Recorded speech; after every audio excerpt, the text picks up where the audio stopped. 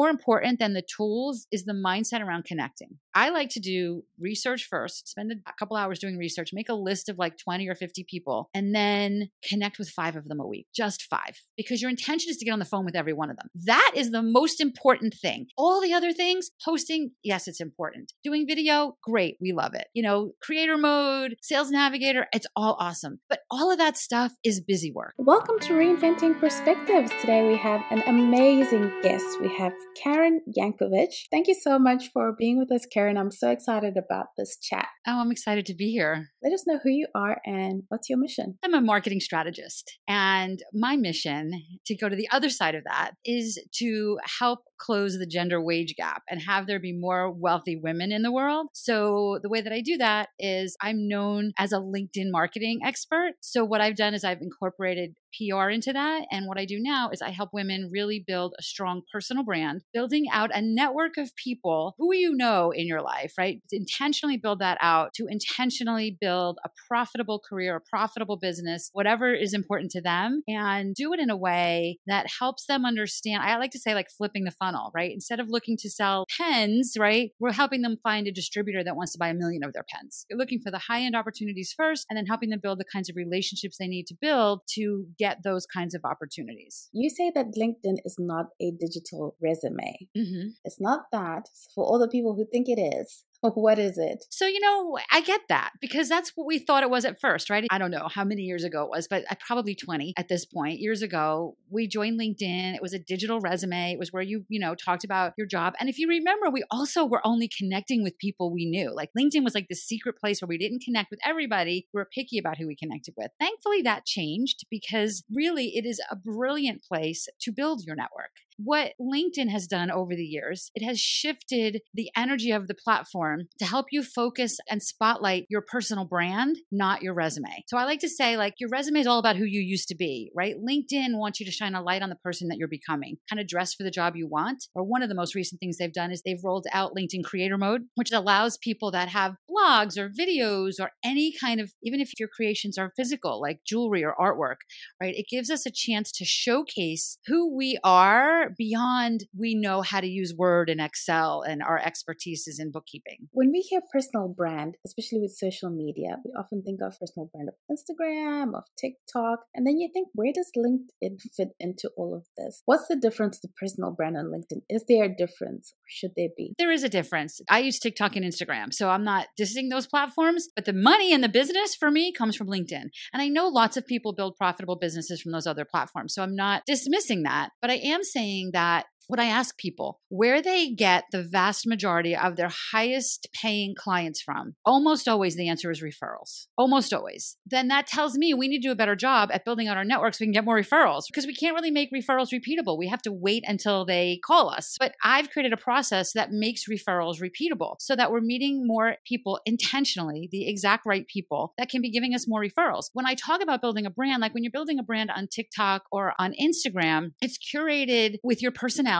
right? With TikTok, it's a lot of video, and with Instagram, it's images and stories and reels and all that other stuff. So there's a lot we can do with all of that. But with LinkedIn, what you're doing is you're showcasing how brilliant you are. You get a chance to tell your story, right? The About section gives you 2,600 characters to tell the world what you want them to know about you. They don't have to watch 10 videos or look at 10 posts and piece it all together. You have the opportunity to create a profile that you can carefully craft so that the world knows exactly what you want them to know about you. LinkedIn is also because it's got the Pulse platform, which is where people write content. They say they're the number one content hub in the world. I don't know if that's true or not, but that's what LinkedIn claims. Therefore, when people are searching for the kinds of things that you do, if you carefully craft your LinkedIn profile using those kinds of keywords, using the things that people are searching for that you want to come up for, then it's going to come up if you do that on LinkedIn. You can't do that on those other platforms. For example, let's say you are a wealth coach for millennials, right? If you use those words very intentionally in your LinkedIn profile and your content and the things you're doing on LinkedIn, when people go to LinkedIn and let's say you're a speaker and they're looking for a speaker for their next event that they want to pay $10,000 to, but they're looking for somebody that focuses on wealth coaching for millennials, somebody's profile is going to come up, right? Why not yours? Listen, mine's not going to come up because all my competitors know how to do this, but yours don't. So if you do this work and really craft a profile that creates a brand for you that it, not only when people look at it, they say, wow, I really need to know her, but also is found because you've crafted it on the back end, right? Behind the scenes, you've done a lot of work with keywords and you know strategically where to put them all. You're now being found. I don't want you to wait for that to happen. I want you to use LinkedIn to go out and meet people. But at the same time, let's not leave any money on the table. So when we talk about a personal brand on LinkedIn, I think it's very different than a personal brand on Instagram and TikTok from that perspective. You've talked about building your network. Mm-hmm. You know, a lot of times, even physical networking events are sort of like, why did I go? I mean, I got absolutely nothing out of it. Right. So now uh, bring it into the virtual space and into LinkedIn. How can people network effectively? Oh, we could talk about this for two hours. But let me just say this when you go to a physical networking event, there's a room full of people, and you wouldn't be there if you didn't think somebody in there would be valuable to your business.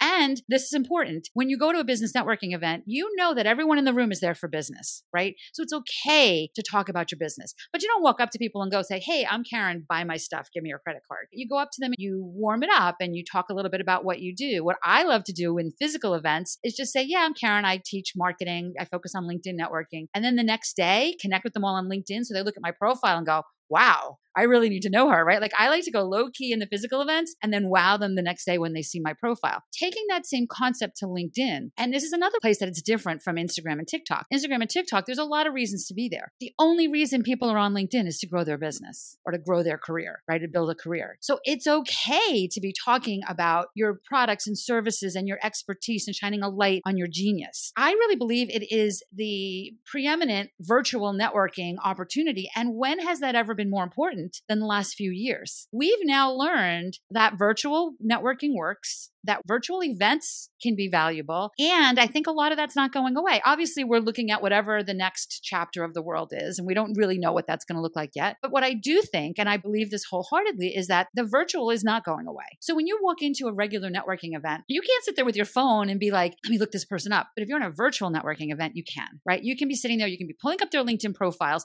And by the way, they're pulling up yours, right? So if you go into your LinkedIn strategy with the same mindset that you would go into a business networking event, that's where the power starts to happen. And I just want to say this, Priscilla, and this is so important. I got asked a couple years ago, I was doing a talk in an in person event, and somebody stood up and went like, This is great, lots of good information. Boil this down to one thing. What one thing should I do when I leave this room? I really, really, really wanted to say, You got to do your profile because without the profile done, you're leaving so much money on the table. But a gorgeous profile that nobody sees is like a beautiful flyer nailed to a tree in the middle of the forest one thing really is do that networking, build your network, build relationships, think about the people on a micro targeted level. I'm not talking about the people that spam you with requests and all that buy my stuff things. But if you belong to networking groups, if you belong to even Facebook groups that are full of people that you think could be valuable, there's some business happening there, cherry pick through those groups. Start to meet these people. Start to, again, if you're doing this from a strong profile, it's even more impactful. But use LinkedIn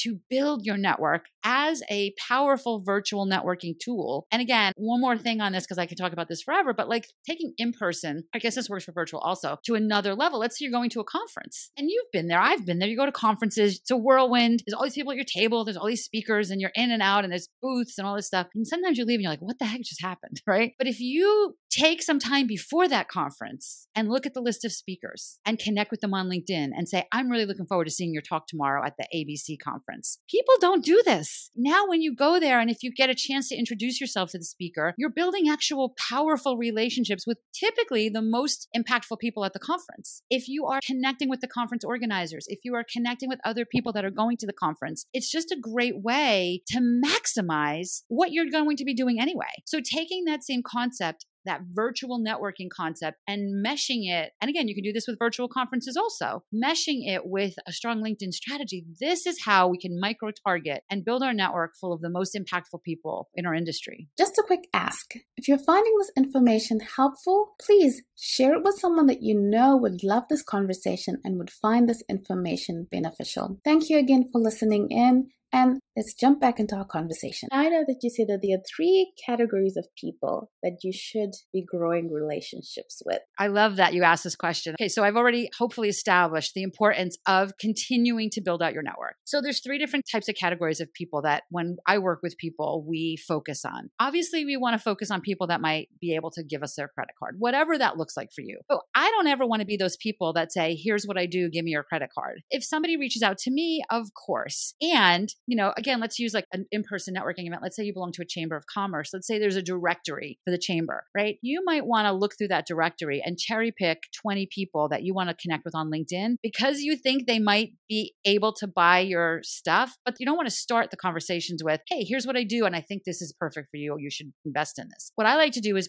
put them in the second category. And the second category, which I think is one of the most impactful things, is people who know people who know people. So taking those same conversations. Now, remember, if you did your research right, maybe these 20 people from that chamber directory might be good candidates for you to be a part of whatever you offer. But the conversations are, hey, we're both members of this chamber. I really want to get to know more people. I want to really make the time I spend in the investment I made in this chamber. I want to maximize it. I'd love to know more about you and what you join the chamber. Like, you know, how do you help people? And then when it comes around to you, you're going to say, okay, here's what I do. Who do you know? So instead of here's what I do, give me your credit card, you want to focus on the audience where you can say, here's what I do. Who do you know? Now, if you did your research right, hopefully a good percentage of those people might say, well, maybe me, right? But the category really is who do you know? So, for example, like I serve audiences of women primarily. Like there might be people that teach money strategies for women. That's a great person for me to meet because they can introduce me to their people. Think about who else serves your audience and look to build your network full of those kinds of people. And then the third category, and this is something that everybody overlooks and almost everybody feels they're not ready for, but I honestly think this is almost the first thing you should be doing when you're starting your career and starting your business. And that is build relationships with the journalists in your industry that talk or write about what you do. Like this right here, Priscilla. For somebody that's listening to this, if I met you in the back of an Uber and I said, Hey, I teach LinkedIn marketing for women, you'd be like, Okay, yeah, that's cool, whatever. But because Priscilla's interviewing me, I get to borrow a little bit of her credibility. You're listening to Priscilla, you have confidence that she brings people worthy of her time and your time to you. I get to borrow her credibility and it puts me in front of hundreds, thousands, you know, maybe millions, depending on who these people are, of the people in your audience. And the more you do these kinds of interviews, the more you get. Priscilla, just as an example, about an hour after we do this record, I'm being interviewed for a local television business segment. I have no idea how they found me, but I'm very visible from a media perspective. I live in New Jersey. So I build relationships with the journalists in the area. I go to the New Jersey online business magazines. I make sure I build relationships with the journalists that write about business in the state that I live in. My business is worldwide. I don't have to stick to New Jersey, but it's kind of cool when you're local. Remember that I said that you can do this when you start your business. So many people that I speak with, let's say they've been in corporate, attorneys and whatever, and they just decided that it's not for them. And they really want to go out on their own, especially post COVID. So many women, so many people are doing this. The great realignment or whatever they're calling it now, right? It's the great reshuffling, the great resignation. They're not coming to this new chapter of their life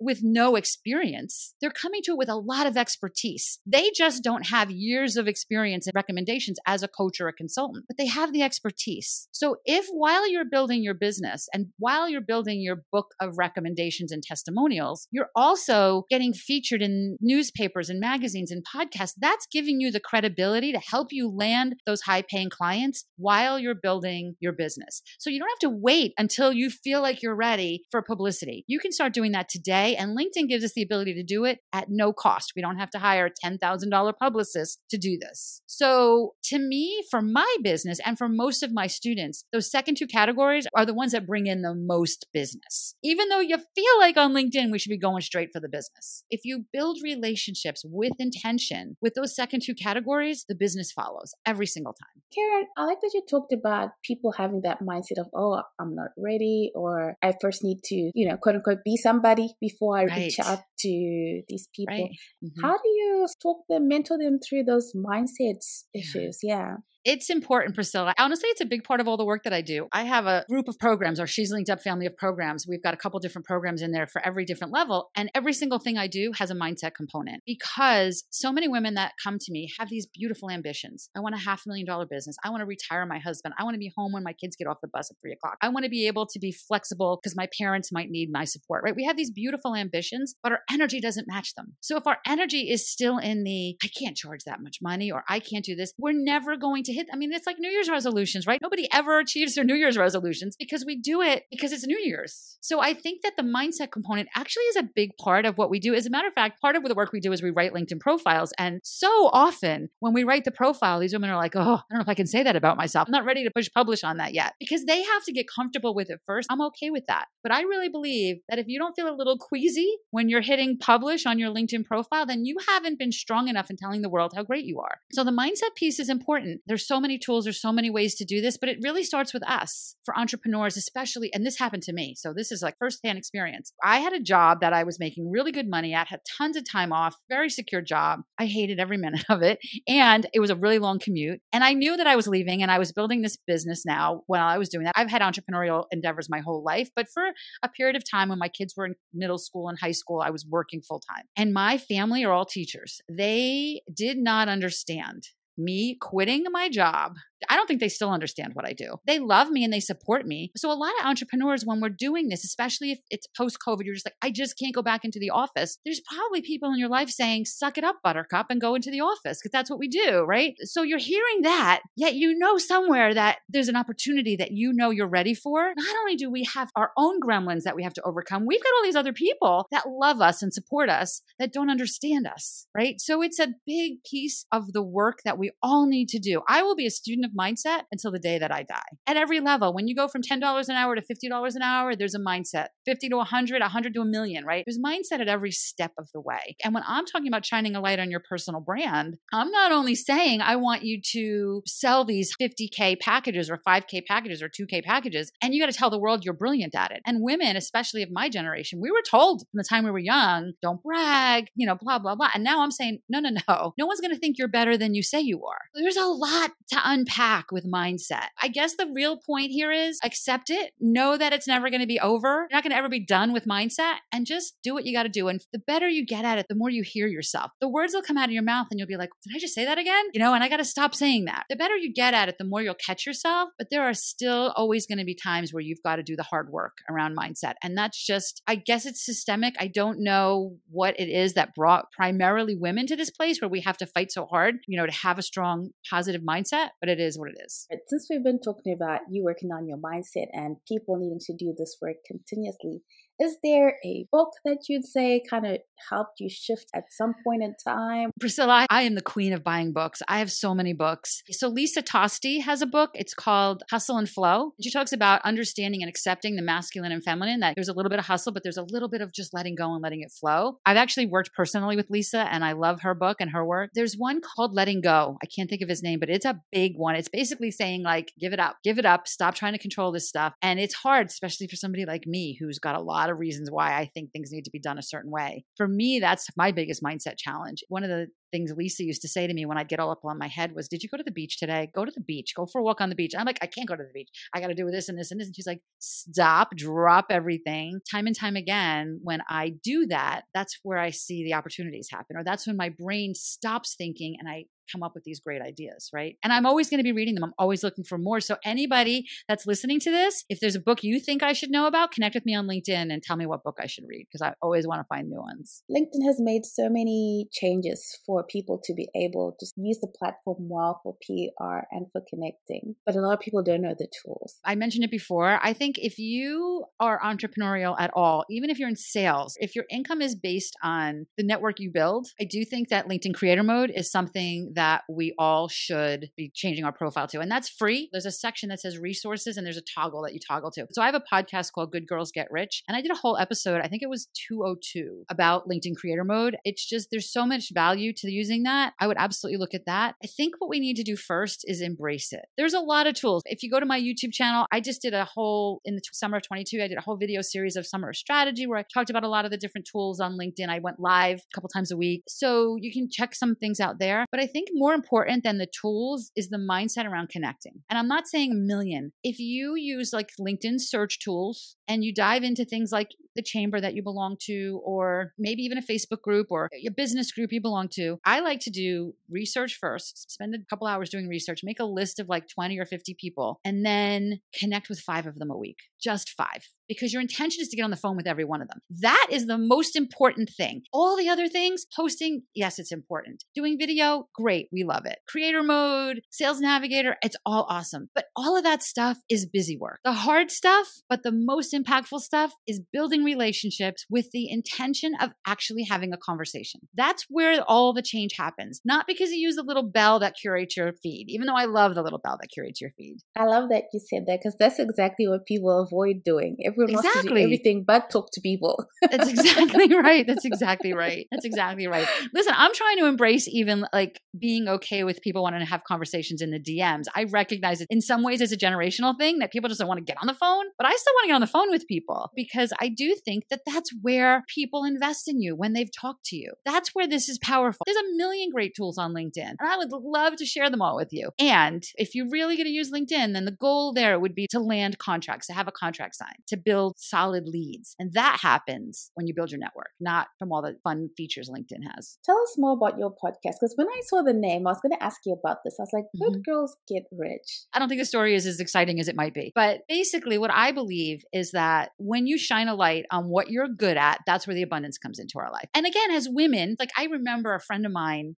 really, really good cook. I happen to be a really good cook, but I don't have time to cook. And I'd say to her, Can you please just cook for me? I will pay you. Just bring me meals. And she's like, That's ridiculous. You know how to cook. She didn't feel that her skill of cooking was worthy because it came so easy to her. And I think that as women, a lot of us do that. We're so good at this. We just give it away because we're good at it. Yeah, I'll jump on the phone with you for a half hour, no problem. And we talk to people and we don't understand the value of building a business around the things we love to do the most, right? So I think that when we stop listening to what other people say we need to be doing and we start identifying who is it that we love to talk to, what is our greatest skill, and how do we build a business around that, that is where the abundance comes into our life. And abundance can be seen as many different things, right? But if we're talking about money, right, that's where richness comes in. Even richness can be looked at many things. So that's really where it comes from. I really want to inspire women to understand that you don't have to do the things you hate to have abundance come into your life. I wish I knew this 30 years ago. I mean, I don't live in regrets, but if you build your business around doing what you love to do, you are naturally going to be enthusiastic about it. You are going to be attracting people to your energy. And that's what the podcast is about. How do you continue to build a brand around yourself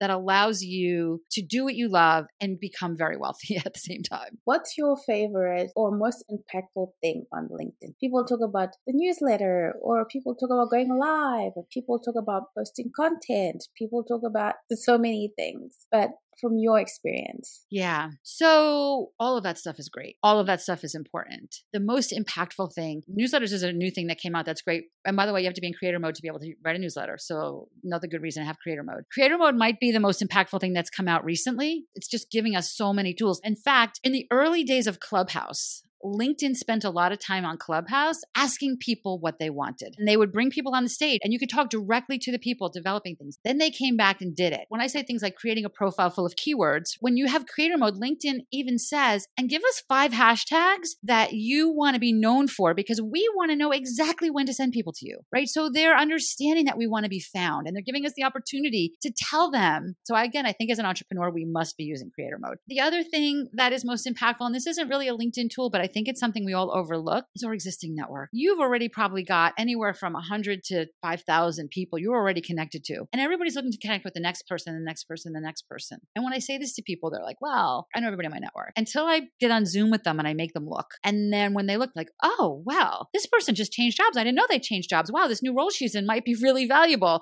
right? So whatever you've done, if it's hardly anything or a ton of work, for some reason, we overlook that as we build out our strategy. The first thing I want you to do is go back and look at the network that LinkedIn has delivered to you over the last five or 10 years and see who in there you haven't talked to in a while that you think would be great to buy coffee to or have a virtual coffee with. There's an unbelievable amount of low hanging fruit there. And I can tell you, if you're listening to this, you're going, yeah, not mine. Look anyway. Look anyway, because I bet you're wrong. Absolutely. Excited about LinkedIn from just talking to you. My last question is always what has faith meant to you on your journey? You know, that ties a lot into the mindset stuff for me, Priscilla. First of all, I have to have faith in myself, right? Which is where the biggest disconnects are. But I also have to have faith in how I'm being guided. And I have to have faith that I was put here to do this work, right? So to me, that's where faith really comes to play in my business. I do believe, especially as we watch things in the world that might be going crazy, I have to believe that I was put on this planet to help inspire women to become wealthy women so that they have the money to make the change in the world that they want to make. And I think a lot of that, I have to have faith that I was put here for that, right? That's my contribution that I feel like I make to the world. Faith is such an important word, I think, in my work. And I think it probably needs to be a bigger word in many people's work. Thank you so much for that, Karen. To our audience, please go to karenyankovich.com slash masterclass. I'm going to have that in the show notes. Karen, please tell them what they have lined up for them on this masterclass. The masterclass really talks about all the things we've talked about here. We really go into the PR piece as well and how you build relationships with that. You know, my goal is to inspire you to use it because I can give you a whole masterclass on how to do your profile, but you've probably had update your profile on your to do list for a long time, right? I want to make sure that you understand the power of this and how much money you're leaving on the table if you don't use this. We're not selling anything on this masterclass. It is just pure content. If you want to learn more from that workshop, we show you how to book a call with somebody and to get some information. But it's just pure content. And we're teaching an overview of the process that we teach with or without us. We can accelerate it if you want some help, but with or without us, it's a powerful, powerful process. But I'd also love for you to connect with me on LinkedIn and tell me that you heard me on this show and let me know what you thought and give Priscilla some reviews and let her know what you thought about this episode, what you learned from it. This is how we lift each other up, right? This is the goal of helping women help women or people help people. So connect with me on LinkedIn. Let me know what you thought. Leave Priscilla some reviews, connect with her. Let's see what we can do to help each other have an amazing year ahead. Thank you so much for that, Karen. And thank you for your time. So great to be here. Thanks for having me. I hope you got a lot of information, a lot of actionable things out of these episodes. Please, two huge favors from you. Please let us know what kind of things you'd like to hear. And if you really love the episode, please support us by going and leaving a review in your podcast listening app. Thank you for choosing to spend your time with the Reinventing Perspectives podcast. We value you. See you again next week.